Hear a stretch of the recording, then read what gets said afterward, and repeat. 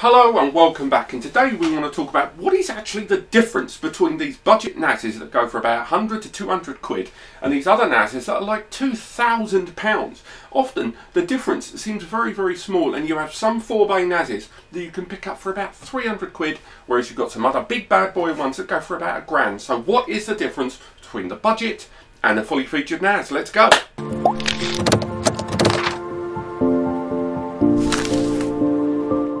Okay, so a number of you out there are probably buying your second, third or tenth NAS and you're wondering what is actually the difference? Because your budget is going to be limited and this doesn't even include what you're spending on hard drive media. Sometimes you've got maybe three to 500 nicker, you've got a little bit of money to spend on a NAS server for home or indeed business.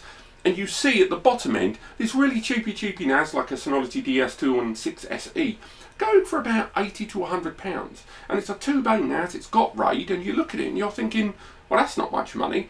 And then everyone's telling you to go for something bigger, like a DS218 Plus or a DS718 Plus in terms of 2 bay. And some of these go for about £400. So what exactly is the difference between them? Because it must be hard enough trying to make a decision to buy a NAS in the first place, but then when you've got a huge disparity like that, it can be very intimidating. Now, what I want to talk about today is what the difference is and more importantly help you decide whether you need to pay the extra.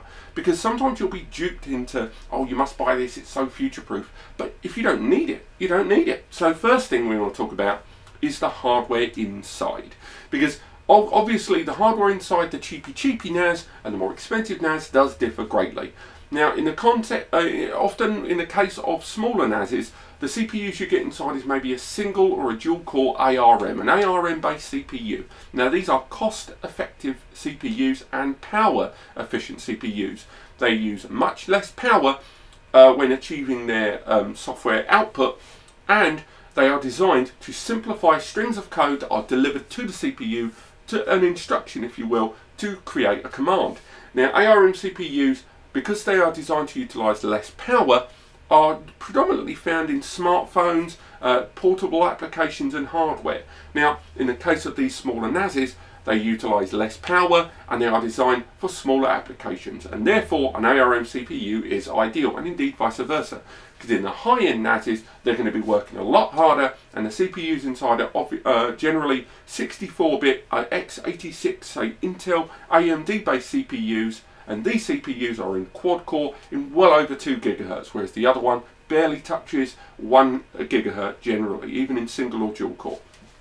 So one of the biggest differences between them is to do with that CPU and indeed the memory. You get more memory in the more expensive ones and we'll talk about what that memory is for and you get better CPUs inside. In every other way, they're actually quite similar, the cheap and the more expensive one. But those two factors always seem to make a difference, the CPU and the hardware. Now, another big difference between them is the software, both in the, the software that is supported because of the CPU inside, because certain software requires a benchmark CPU um, kind of a level that if you dip below that, the software just won't run. And on top of that, the extent to which the software runs. Now, the cheapy cheapy CPU, uh, cheapy, uh, the cheapy cheapy NASs, such as the 218J or that 216 SE, um, these NASs here, these little budget NASs, or the DS115J, in fact, that's still around, these NASs, they can support the likes of, say, photo um, album viewing and multimedia DLNA media server access, and even surveillance to a very limited degree with few cameras.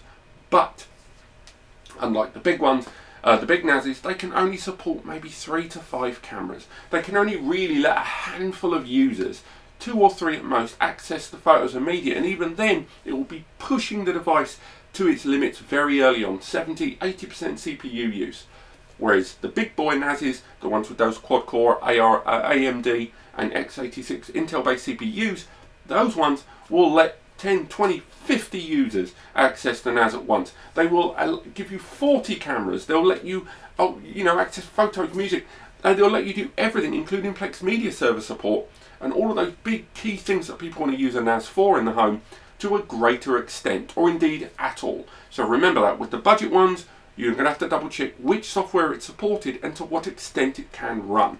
So if you're thinking of getting a Plex uh, media server to install on a NAS and it's for your whole family, how many members of the family, how dense is that media? From that point onwards, you, if it's more than two or three in any of those numbers, step away.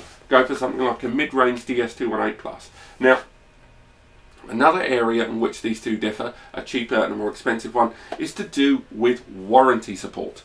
Cheaper NASs, because they've got, I would go as far as to say budget CPUs inside, it's worth mentioning that the warranty will be indicative of that. So if you buy a NAS that's got an, a little cheap ARM based CPU inside and they're selling it for about 120, 150 quid, that NAS more than likely will have two years of manufacturer's warranty. That means the manufacturer will cover any hardware problems for two years.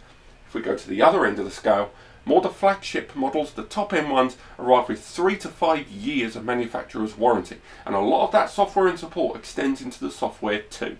So when you buy a more expensive NAS, you're actually getting a greater extent of coverage in the event of hardware failure, something that the cheaper NASs will not give you to the same degree. So if that's something that's important to you, that's another reason to consider spending a little bit more in terms of the future, I'm going to try to avoid the word future proofing as much as possible. Um, we can talk about expansions. Now, the cheaper end NASs, some of them one, two bay, you can put one or two hard drives or SSDs inside, but that's going to be your lot. You might be able to install a new hard drive at a later date, but that's really it for you.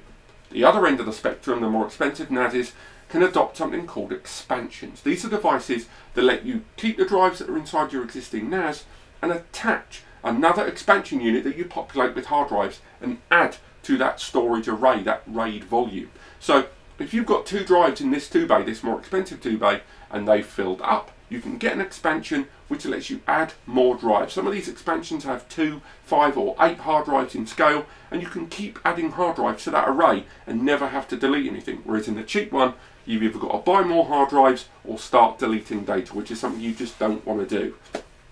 Now, on the subject of data, we can go back to the number of users because cheaper NASs do support fewer users. And that's not just in individual applications, I mean overall in the system software. So you end up with things like DSM or QTS from Synology or QNAP that will support a handful of users, 5 to 10 users max, on that budget um, hardware. So you start creating users and download tasks and email servers and that sort of thing if you want to go a little bit more extensive. But you really do hit a glass ceiling incredibly early on if you want to go with more than about five users that can have constant access whereas the more expensive units will support more users concurrently across the entire spectrum of their software, while supporting things like long-term surveillance, virtualization, email servers, and lots of ways in which all of those users can collaborate together on this one device, something the cheaper device just will not give you. Finally, power consumption. Now, this is one of the few areas where a cheaper NAS can be a lot more beneficial because cheaper NAS is because of that ARM based CPU, and I keep using the word cheap cost effective NASs because of that CPU inside, the lower frequency of RAM and capacity of RAM, and indeed the chassis themselves being more plasticky and compact in design, because they've got none of the frills and add-ons of the more expensive one, results in two things. One, they are quieter. Two, they use less power. So your footprint, as it were, will be smaller. So if that is something that matters a lot to you, noise and power consumption, that's when you start going towards the cheaper end of the spectrum. Again, try to stay in the middle. Your DS218 Pluses, your uh, TS253Bs, these middle range NASs are the ones to look at if your budget is a bit tight. But um, not just if your budget is tight, but your power consumption and noise is a concern.